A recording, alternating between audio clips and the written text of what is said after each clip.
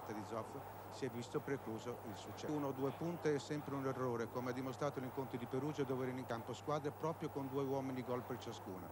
Rossi e Calloni da una parte e Chimenti e Palanca dell'altra. In pratica tutta la partita è vissuta soltanto in due spunti creati ambedue da Rossi. Qui si vede Casars a lanciare Rossi, il quale si aggiusta la palla di petto, ma Mattolini riesce a respingerla.